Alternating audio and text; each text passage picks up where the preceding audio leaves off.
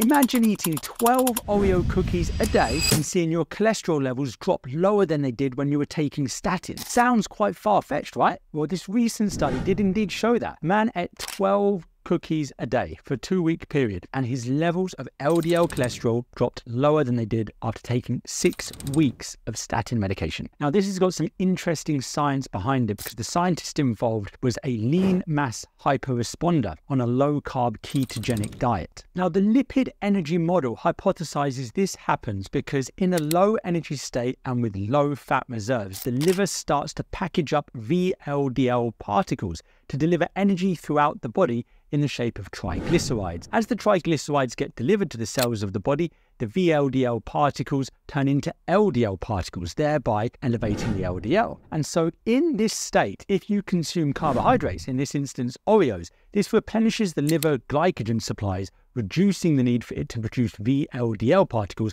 and thereby reducing the levels of LDL particles. Now, this was a really interesting study. Hats off to Nick Norwitz, who designed and carried it out on himself. Did a great job just goes to show how interesting our biology can work and that everybody's different. This is by no means saying that Oreos should be used to reduce our cholesterol, but just goes to highlight that everybody can react different ways in different situations to different sorts of foods.